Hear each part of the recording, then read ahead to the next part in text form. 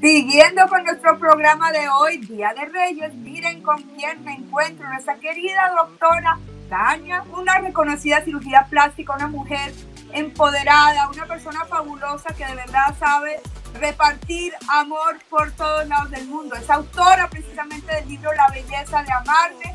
Y bueno, aquí está con nosotros porque vamos a hablar de un tema muy bonito y muy inspirador. Bienvenida, mi querida doctora Tania Medina. Kika, muchísimas gracias. Feliz estar aquí hablando de un tema que me apasiona, del cual soy abanderada, que es el amor propio. Así es, mi niña. Es la base para todo lo demás. Si eso falla, creo que no tenemos eh, de verdad un, cimiento fuerte, importante para construir y para mejorar. Tenemos siempre muchos sueños como mujeres, como personas en general, porque el amor propio no solo es para las mujeres, sino que aquí tienes dos personas que siempre estamos abogando por él.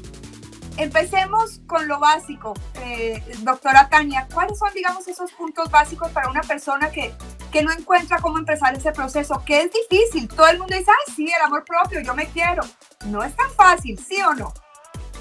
Mira, es terriblemente difícil. Yo te cuento que pasé años y años buscando eso que me faltaba y era el amor propio. Era que no me aceptaba como yo era. Yo tengo y recogí cinco truquitos para amarnos un poquito más o para empezar ese camino hacia lo que es amarnos, porque es un camino que debemos tomar la decisión diaria. Yo hoy decido amarme un día a la vez, así como cuando dejamos de fumar, dejamos las drogas, etcétera, todo eso. Así mismo debemos trabajar el amor propio un día a la vez. Siempre va a haber cosas que obviamente no nos gustan de nosotros y es que no somos perfectos. Pero hay esas cositas, esos detalles cinco herramientas que yo llamo las cinco herramientas principales del amor propio para empezar a amarnos. La pues primera vamos por ellas, vamos por ellas, tomen papel y nota los que nos están viendo. Vamos todos a anotar y son súper fáciles, lo que tienes que empezar a hacerlas. La primera es conócete. Debes saber quién eres, no para autolacerarte, darte latigazo y decir, ay, ¿por qué yo soy esto o lo otro? Simplemente Toma un papel, haz una lista de tus cositas buenas, de lo que te gusta de ti y aquellas cosas que no consideras buenas. Digo no consideras porque todo va a depender de las creencias. Eh, en algún país del mundo ser gordito es signo de, de, belleza, como en África los hombres que tienen la barriguita gorda, wow, las mujeres lo buscan porque significa bienestar. Por acá, por Latinoamérica, queremos los cuadritos. O sea que no está ni bien ni mal, es todo cuestión de creencias. Entonces, empecemos haciendo tu lista. La segunda es acepta, abraza eso que eres. Porque desde la aceptación es que podemos hacer los cambios. No podemos cambiar aquellas, aquellos detalles que simplemente no abrazamos. Sean buenos o sean no tan buenos, sean malos, defectos y virtudes, vamos a aceptarla. La tercera es perdónate. Perdonar. Es lo más difícil, es lo más difícil, doctora Tania, lo más difícil. Señores, nosotros nos vivimos autolacerando porque debimos hacer la cosa de una manera o de la otra. No, lo importante es que hiciste lo que pudiste, lo mejor que pudiste. Métete eso en la cabeza con las herramientas que tenías en ese momento. Estas herramientas que tienes hoy en día no son las que tenías ayer. Y las aprendiste gracias a esos errores, entre comillas, porque yo no, yo creo que no existen los errores, existen las ganancias o los aprendizajes. Entonces vamos a perdonarnos, pero sobre todo también vamos a perdonar a aquella persona que está al lado de nosotros, que entendemos que nos hizo daño. ¿Por qué digo que entendemos? Porque la realidad es totalmente neutra.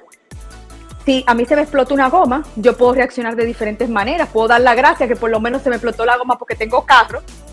O puedo decir, todo me pasa a mí. Soy una víctima. Oh. desde la forma víctima o desde la forma responsable. Entonces, todo depende de los ojos que la mire. Esta vecina que, te tiró una cáscara de guineo después que tú barriste la puerta, señora, ahorita fue que se le cayó esa cáscara de guineo y nosotros, y ella ni se enteró, y nosotros tenemos años y años odiando a esa vecina. Imagínate tu Kika, qué locura. Exacto, pero así pasa, muchas veces juzgamos y no sabemos y, no depende de nosotros. Entonces, ese perdón, empezar por, por nosotros, yo creo que es, es un ingrediente muy, muy importante dentro de esta lista. Y ese es el número tres. ¿Cuáles son los otros dos? Así es. El, siguiente es gratitud.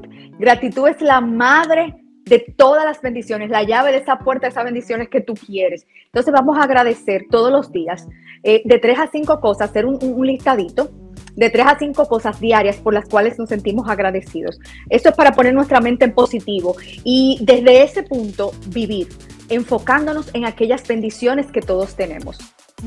La quinta, y no menos importante, vamos a mimarnos, vamos a tener citas con nosotros, vamos a ir al spa, vamos a tomarnos un café ahí a ver esa película sola que no nos atrevemos. Claro que sí, vamos a mimarnos y abrazarnos.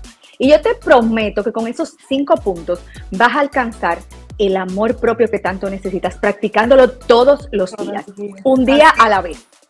Así es. Y mira, esa parte final, ese quinto punto de arreglarse, cuando tú ves una persona que se esmera por lucir bonita, ves que hay una dosis de amor propio muy grande en ese proceso. Muchas veces cuando uno está triste es cuando menos te quieres arreglar, cuando menos quieres hacer el esfuerzo y créeme que eso también psicológicamente te cambia. El día que yo estoy mal es el día que digo, no, me voy a peinar, me voy a arreglar, me voy a poner un labial rojo para que la sonrisa se vea más bonita. Esos pasos ayudan también muchas veces a que, a que, a que tengas otra visión de las cosas y que crezca en ti ese amor propio. Bueno, en tu caso personal. Hablando, espérate, espérate, hablando del labial rojo, Kika, yo no puedo dejar de resaltar qué bella te ves con ese labial rojo. y no te lo quites jamás. Es que me encanta. Hoy estoy contenta porque estoy contigo. Bueno, mi niña, vamos a hablar de, de esa parte personal porque yo sé que todos tenemos cosas para hacer, encontrar algo dentro de nosotros que nos hace sentir especial, ¿Qué encuentras tú en la doctora Tania que dice, miren, esto ha sido para mí la clave? Porque lo que tú dices, tenemos cosas que nos gustan, cosas que no nos gustan, aferrarnos de esas cosas que nos gustan. ¿Qué te gusta de ti? Lo, lo echada que soy, o sea, te digo que yo o me tiro o me jondeo, como dicen en buen dominicano. Cuando yo quiero algo, yo voy por ello. Lo peor que me puede pasar, siempre digo y me entro en mi mente, es que me digan que no y ya yo empecé en un no. Entonces empecé en un punto neutro. O gano o aprendo. Así que, que me gusta esa cualidad de mí, que sueño en grande, que voy tras mis sueños, y que quiero y me encanta arrastrar a todo el mundo a que sea su mejor versión. Esas son de las cosas que, que, me encantan de, de la doctora Tania Medina. Muy bien, doctora Tania Medina. Hablemos precisamente de ese libro, muéstranos porque yo sé que tú lo tienes ahí, El arte de amarme a mí misma. Hablemos un poquito de esos temas. Me imagino que ahí están estas cinco claves que ya nos dijiste. ¿Qué otras cosas podemos encontrar en este libro? Y aparte de eso, ¿dónde lo podemos encontrar? Lo pueden encontrar en Amazon, en todas las librerías Books and Books, encuesta en República Dominicana eh, y sobre todo en Amazon es importante porque llega a todas las partes del mundo. El libro ha sido un bestseller y estoy muy feliz. Este libro es un camino, es como guiarte a, esta, a, la felicidad que todos necesitamos, porque vinimos a este mundo, Kika, a ser felices definitivamente. Pero el primer paso para esa felicidad es amarnos porque no podemos dar lo que no tenemos dentro. Quisiéramos amar a todo el mundo. Y si yo no me amo a mí misma, que soy el ser más importante de mi vida, que va a estar conmigo desde el día cero hasta que mi energía trascienda y, vuelva a, otro campo espiritual, entonces no puedo amar a nadie más. Imagínate querer dar agua en un jarro vacío. Entonces no podemos. Y este libro dice todas esas pequeñas herramientas, nos habla un poquito del alma, nos habla de que somos seres holísticos, que no solamente somos cuerpo físico, sino que somos mente, cuerpo, corazón, espíritu, y que todo esto tiene que estar alineado para sentirnos mejor. Y obviamente habla de, las cirugías plásticas al final, porque yo sé lo que soy de cirujana plástica.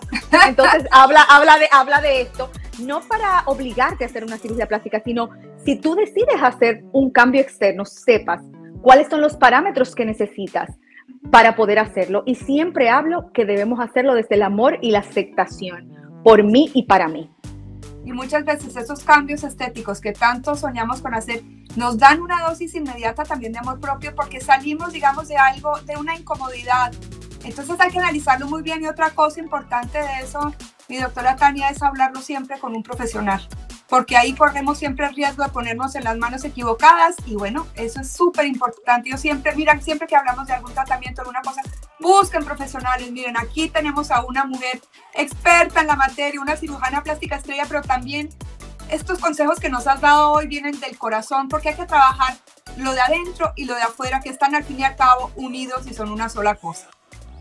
Kika, estás contratada, por favor renuncia, ven para mi oficina. Esa es nuestra filosofía, trabajar nuestro, nuestra cirugía interna para luego trabajar esos cambios externos. Me encanta. Es, mi niña. Bueno, qué rico comenzar este año contigo, celebrar el Día de Reyes juntas.